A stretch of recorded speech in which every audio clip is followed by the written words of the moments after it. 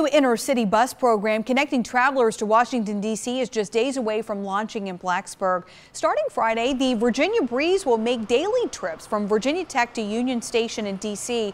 It will leave from the Student Center at 8 a.m. and arrive in D.C. at 2.30.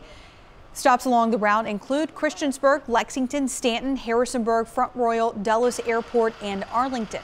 The goal is to connect rural communities with the national bus network. We're excited not only for college students to be here, but also, you know, families want to see different parts of the state. A one-way ticket from Blacksburg to Union Station costs about 50 bucks. To find out how you can book yours, you can head to our website, WSLS.com.